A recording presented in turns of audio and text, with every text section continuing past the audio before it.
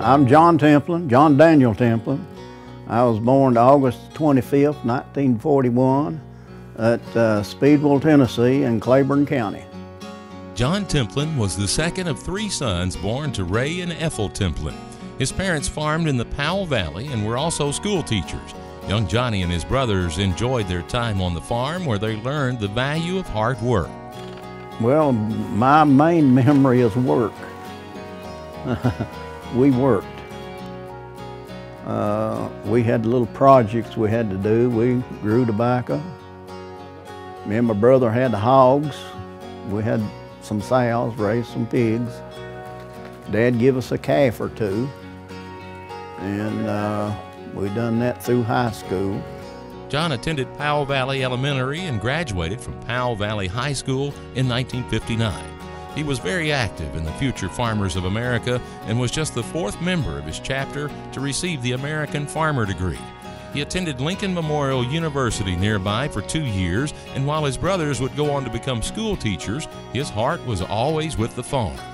I come back to the farm and went into the dairy business Dad. So I went, started helping him, and then I started in the beef business too. I started, got, got into the registered poll Herefords and uh, done pretty good for a while, and then it got to where you couldn't sell a Hereford bull. Nobody didn't want one. Over the years, Mr. Templin developed a strong reputation in the beef business, and he still raises a few head today. In 1975, he married the former Frances Miracle, and they raised her two children on the farm, but the marriage ended after 18 years. For a few years in the 1970s, he would work as a program assistant in the county for the Extension Service. He also worked with USDA in the 80s, helping with aerial mapping of the county for the ASCS office. And for several years, he ran a slaughter and processing business near the farm. He was a charter member of the Claiborne County Livestock Association. He served on the Soil Conservation District County Committee, the Claiborne Farmers Co op Board, eight years, and he served two terms as a county commissioner. And since he can remember, the family has always been members of the Claiborne County Farm Bureau. He was first elected to the County Board of Directors in 1968 and remains active today after serving eight years as president and on numerous local and state committees. And they're, they're more, more like a family than they are an organization. But Farm Bureau is kind of like a family, but they're also my voice. Uh, I, I, have got to meet a lot of people that I've never, never got to have met before several of our representatives, I got, got to know them by name. I, I could call their name. You know, I, I didn't, didn't call them uh, senator or congressman. I, I call them by their names.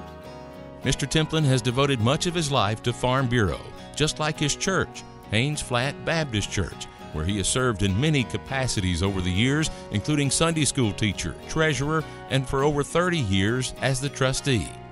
When I was a kid, I was drugged to church.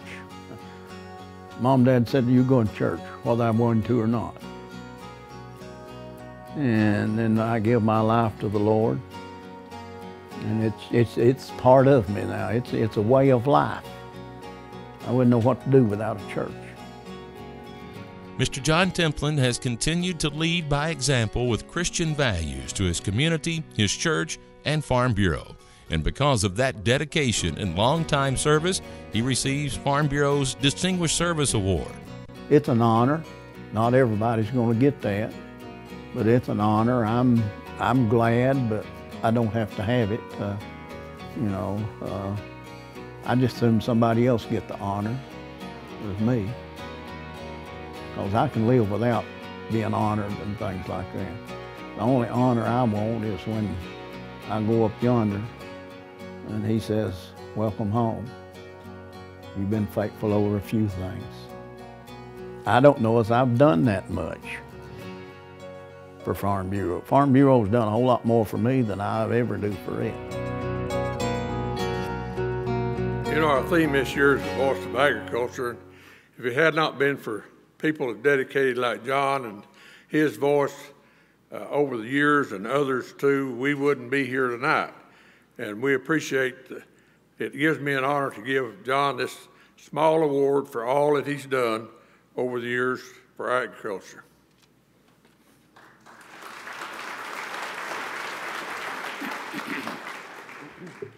Uh, thank you, David. I was told to make this short and sweet. Uh, I don't know how to make it short, but I can really make it sweet. Uh, but well, that's almost shorter than uh, what it's going to be. I was sitting over here, and Darrell come up and he said, "You know what you're sitting up here for?" I said, "Yeah." He said, "No." He said, "You're sitting here between Mike and David." David said, uh, "Just like Christ and the two thieves." I had to do a, a double take to see if there was a cross behind me. So it could have been, I, I was about ready to leave. But uh, anyway, it's, it's been several years, uh, reminiscing a little bit. Back when we first started, we had the Farm Bureau Convention in the War Memorial Building uptown. Man, that was the coldest place in the world and you had to walk three or four blocks. And you sure have improved and come a long way, folks. Thank you. Thank you for this. And with that, I'll, I'll make it short. Thank you.